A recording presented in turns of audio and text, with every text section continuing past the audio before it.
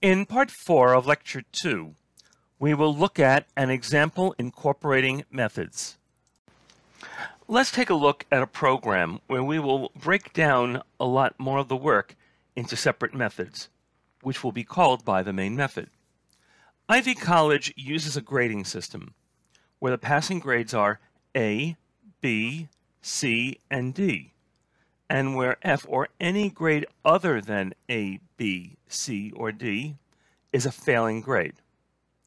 Assuming that the courses all have equal weight, and that the letter grades have the following numerical value, A is 4, B is 3, C is 2, D is 1, and F is 0.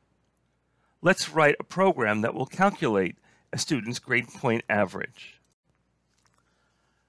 Before we go on, let's look at an addition to this.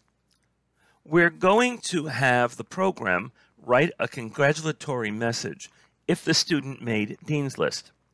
We will write a function Dean's List that will print the congratulatory message, and another one called print instructions. Let's examine what we're being asked to do. We know that the inputs that we will have will be the grades of the student. The required output is the grade point average and a congratulatory message if it's appropriate. We also have other information available to us. A is 4, B is 3, and so on. And that if we add up these numerical equivalents and divide by the number of grades, we will have the grade point average. Let's start with our initial algorithm. We'll print an introductory message. We will add up the numerical equivalents of all the grades. We will calculate the grade point average and print it out. And if appropriate, we will print a congratulatory message. We begin as usual with import Java util scanner. Now we begin the class by writing its header, public class Dean's List, and after the open brace, we're ready to begin the program.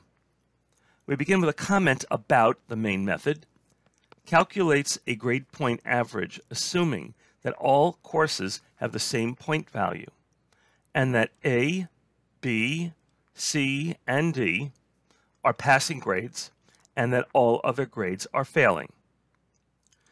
Now we write the header for the main method, public static void main string args, and after the open brace, we're ready to declare variables.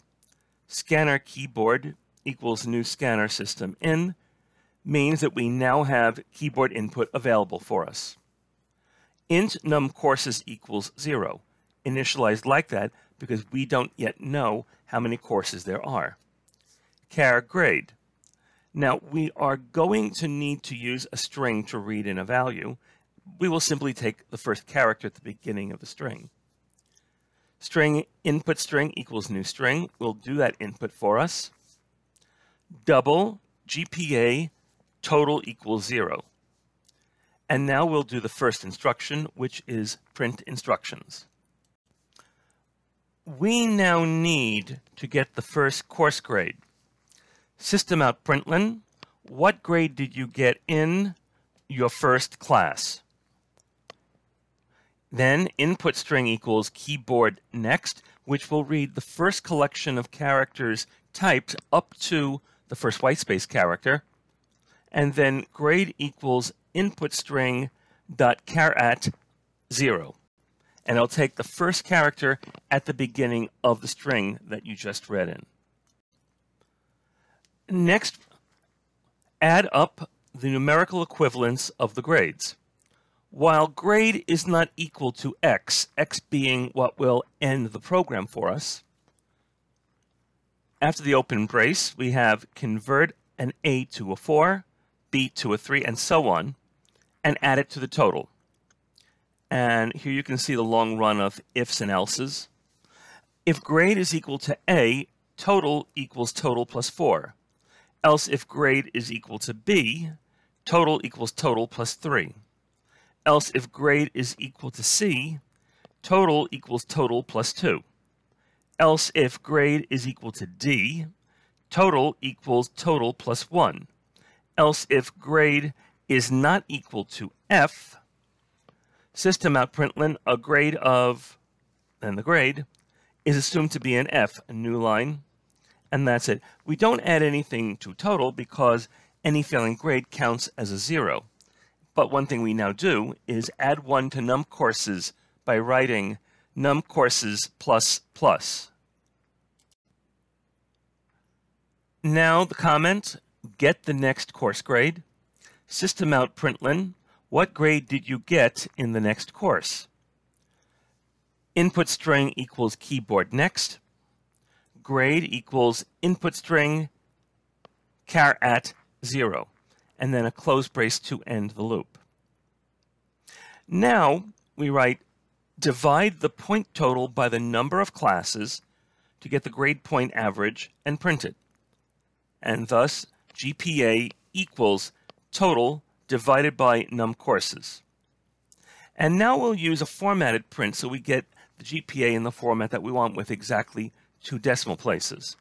System out printf, and inside the open parenthesis, quote, your grade point average is percent 4.2f backslash n, unquote, and then GPA.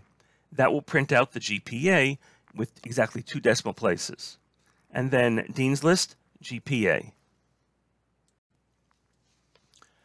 We begin the print instructions method by writing print instructions, print instructions for the user. Public static void main print instructions, open and close parentheses with nothing inside, and an open brace. Now a comment, print, and introductory method. System out println, this program calculates your grade point average. System out println, assuming that all courses have the same point. System out println value.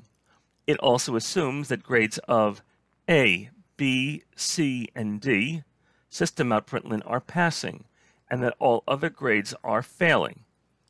System out println, to indicate that you are finished, enter grade of quote X unquote. Now you'll notice that I have a new line at the end of each of the statements except for the last one. This means we'll be printing this double spaced.